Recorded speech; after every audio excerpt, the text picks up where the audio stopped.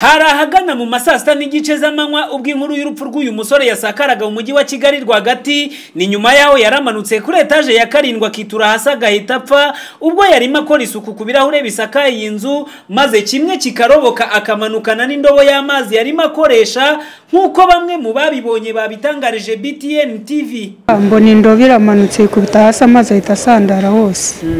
Ahita mpaguruka munga ngeze hariya uriya muntu ahagaze.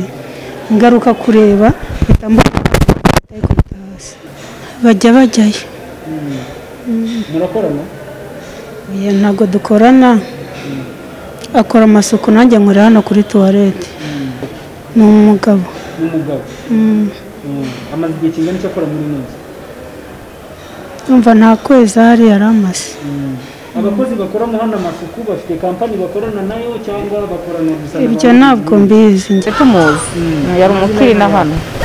Nawe turayazi turi bashyashya hano reka tubamaze kampani. Ni kampani.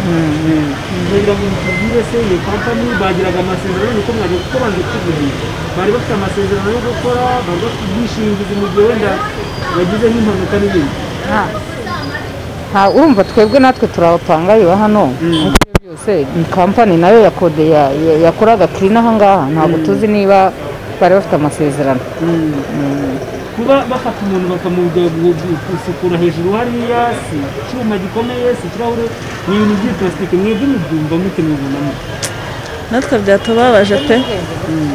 Byatubabaje ntituzi wenda ikosa ngo riri kuri uyu nguyu urumva nawe ntabwo yabikoze abishaka. Ntabwo yari akeneye kwiyahura ubwo urumva rero sinzi hagati yenda y'ubakoresha n'u- n'uyu nguyu ufite ikosa.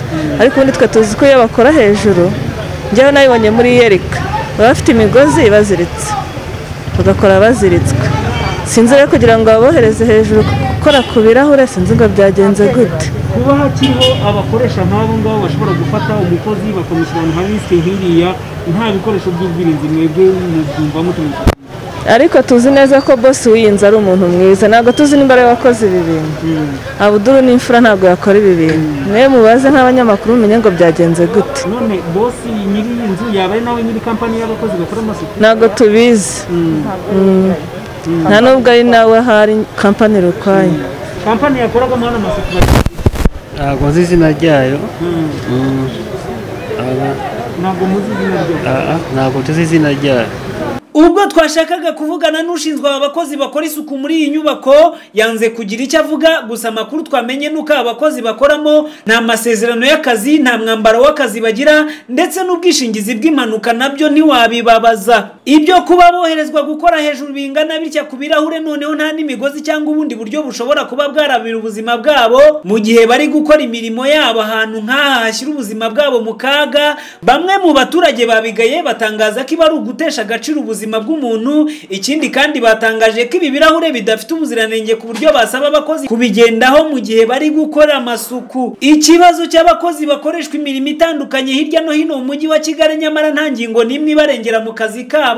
Cyakomeje kugarukaho cyane na bamwe harimo n'abadepite bakigaragarije minisitiri w'abakozi ba leta n'umurimo ubwo yatangaga ibisobanuro mu magambo bakamugaragariza ko giteye impungenge aho bashinze aba bakoresha kudaha agaciro abakozi babo ibintu basabye ko bigomba gukurikiranwa mu maguru mashya bigahabwa umurongo. Naho ku kibazo cy'inyubako cyane cyane iz'ubucuruzi ziba zitujuje ubuziranenge bishobora gutera impanuka za hato na hato bigashyira ubuzima bw'abakozi mu kaga. Minisitiri w'ibikorwa remezo nawe ubwo yatumwagaho n'abadepite yatangaje ko bagiye kujya bashyiraho abagenzura izi nyubako kugira ngo zemererwe gukorerwamo.